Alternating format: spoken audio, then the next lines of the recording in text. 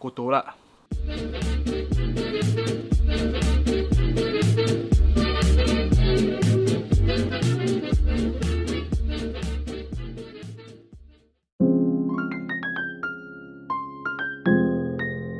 Salam sejahtera tuan-tuan dan puan-puan. Nama saya Hans Abdullah. Hans Abdullah Hans Abdullah Hans Abdullah. Dan selamat kembali kepada channel streetwear paling sampah di YouTube. Channel Hans Abdullah baby. So, korang dah nampak tajuk video ni Tapi sebelum kita get into the main content of this video Aku nak unbox, ada few things aku nak unbox sikit. First up, aku dapat package ni dari DHL From Lasista Enterprise. Let's go. Hans Abdullah, nama aku, alamat tidak silap. Aku tak ada gunting dalam bilik ini Tapi aku ada kunci fragment aka kunci tangga kejayaan. Ya. Yeah. Bang, it's a hat from La Sista Sneakers. I shall wear this hat throughout this video. Ada, what do you call this? Keychain? Lanyard? Ada free gift? Thank you La Sista Sneakers. Appreciate you. Thank you for showing me love And for showing me love I'ma show you love.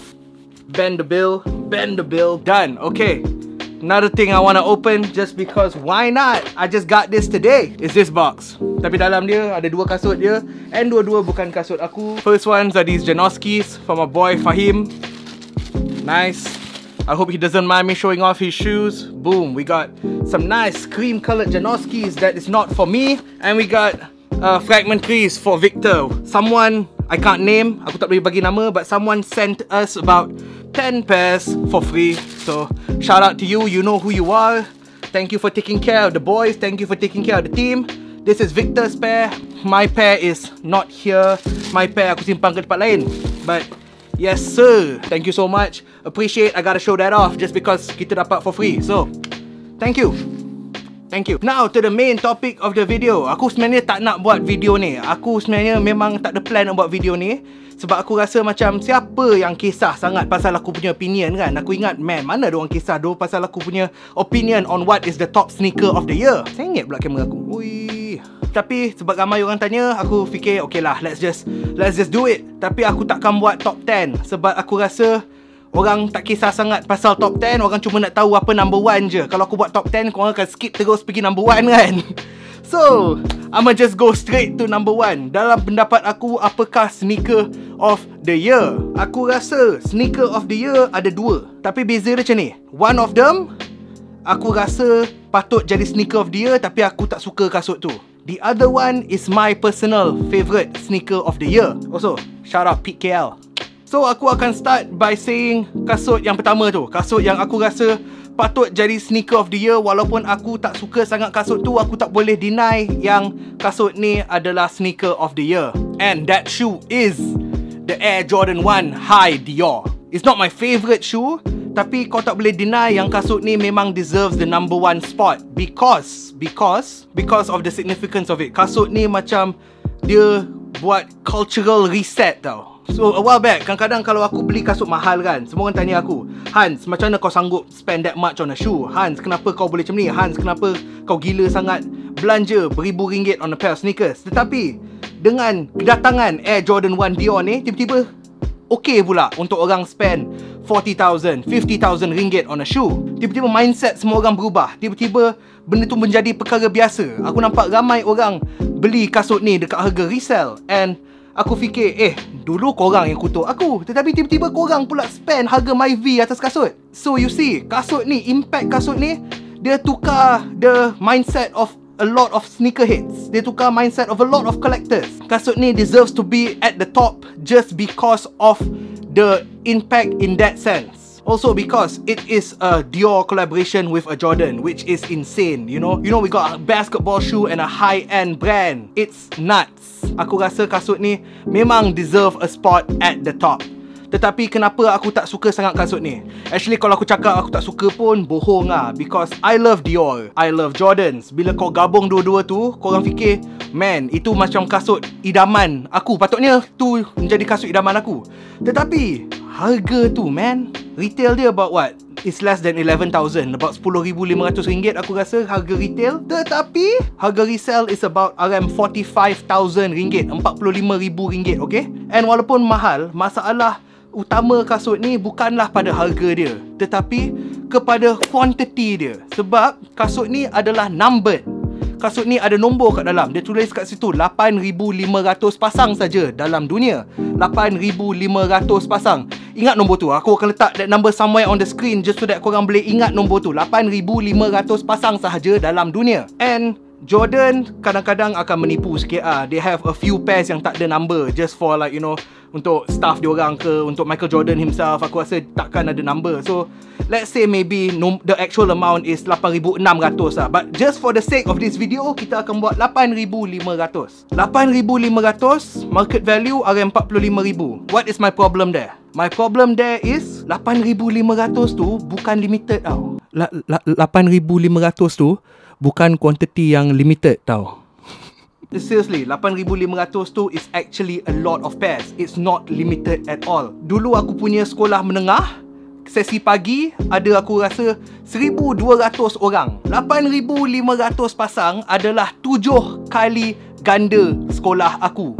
Maksud dia time perhimpunan aku tu, you know all those people yang kau nampak tu, Yeah, the amount of people in the world that is wearing the Air Jordan 1 Dior High is tujuh kali ganda that amount. Tujuh kali ganda kau punya perhimpunan tu. That is not limited. Korang pergi pavilion, like no joke, hari tu aku pergi pavilion, aku nampak dua orang pakai kasut ni. Dua orang. Aku tak tahu legit ke fake, tapi let's assume that it is legit. Sebab kita nak bersangka baik kan. Let's just say benda ni legit. Kau pergi pavilion, kau nampak dua orang pakai. Tak limited tu. Okay, aku nak preface ni dengan ni.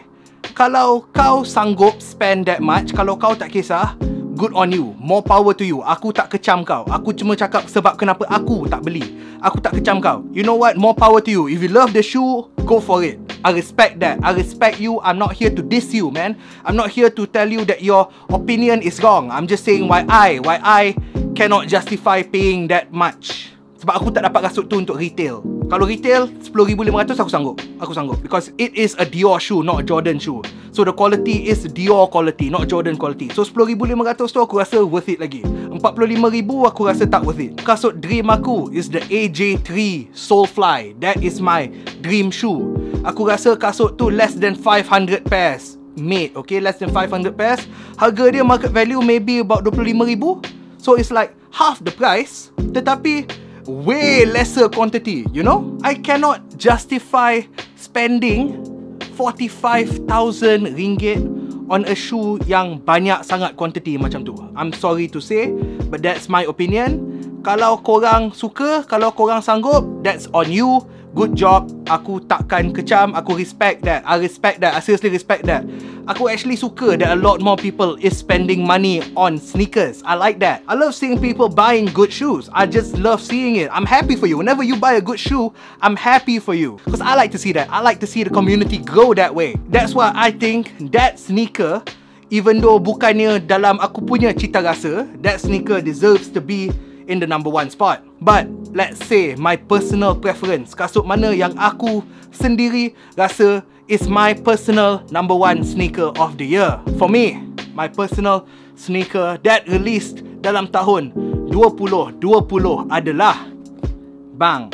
Hello. The store exclusive Kashina Dunks Kenapa aku rasa like, Aku ambil satu side je Busan ke Seoul? Aku nak Busan ke Seoul? Jom pergi Seoul Sebab aku rindu Seoul. Shout out to my Korean homie Shout out to Gambo Shout out to Rudy Shout out to Stackhouse Shout out to Bellum. You see these Why do I think these are the sneaker of the year for me? Sebab dalam tahun ni Kasut ni lah bagi aku Kasut yang paling susah untuk aku dapat. So Kashina. Kashina tu adalah kedai dekat Korea. And Kashina dapat dua kasut collaboration tahun ni.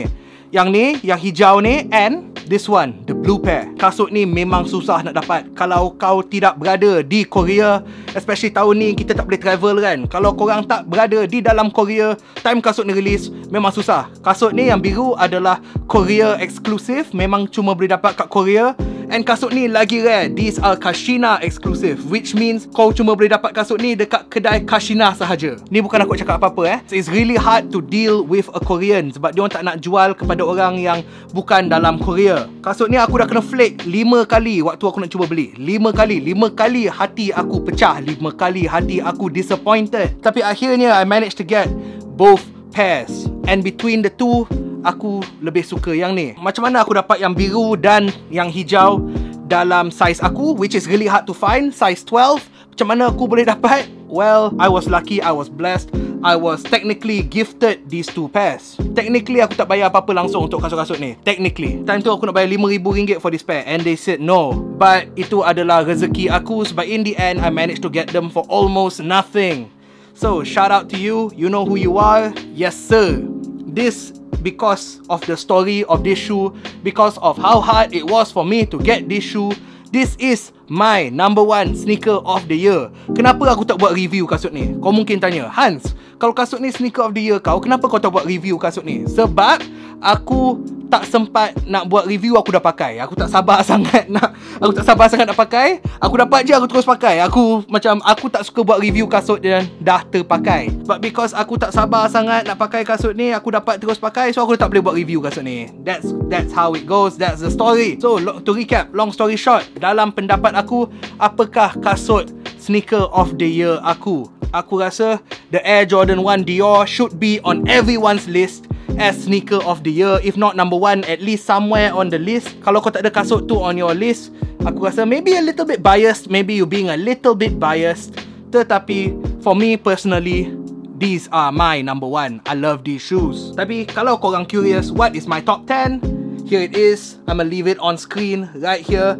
This is my top 10 but I just skip straight to number one sebab aku rasa korang pun macam tak interested sangat nak duduk macam setengah jam dengar aku cakap pasal each of these shoes kan. So yeah, that's it. That's the video. That is in my opinion the top sneaker or sneakers of 2020. I am Hans Abdullah. Like the video if you like the video. Subscribe if you want to see more videos. I'll see you in the next video, baby.